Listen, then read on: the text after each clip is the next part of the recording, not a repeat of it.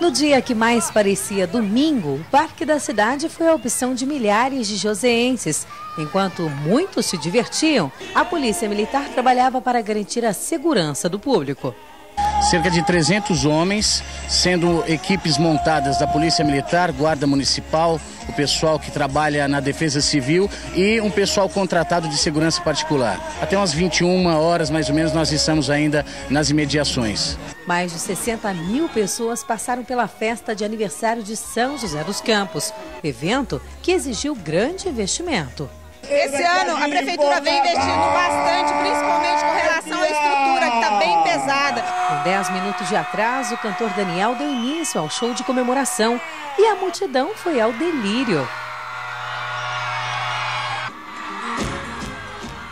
São 243 anos de histórias, conquistas e muita alegria para os moradores. Mas o que eles mais gostam da cidade? Eu gosto de tudo. A cidade é muito boa, sim, para tudo, para estudo, trabalho. As crianças aqui sempre têm ocupação. É uma cidade muito bem agitada, muito bem ocupada, não só na, na matéria de emprego e tal. Após o show, o motorista teve de ter paciência na volta para casa. Hoje está fora do comum mesmo. Tem que ter paciência, estão em festa, né? Feriadão, né? Um pouquinho, né? Um pouquinho. Mas vale a pena, para assistir o show vale a pena.